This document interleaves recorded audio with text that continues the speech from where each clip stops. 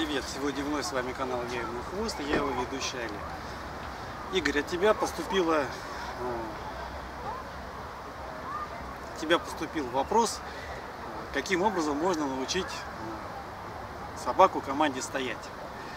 Знаешь, вот хотел сначала написать тебе, потом подумал, у меня же есть канал на YouTube, я тебе таким образом отвечу.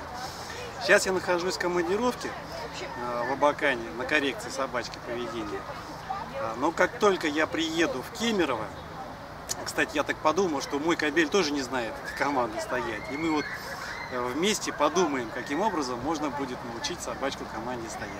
Я думаю, что это достаточно простая процедура, которая будет состоять из нескольких частей, потому что сначала нужно будет э, собачку просто научить стоять, во второй части, я думаю, что нужно будет собачку научить при помощи жестикуляции а, команде стоять. И третья часть, это уже, я думаю, что дистанционно мы будем обучать.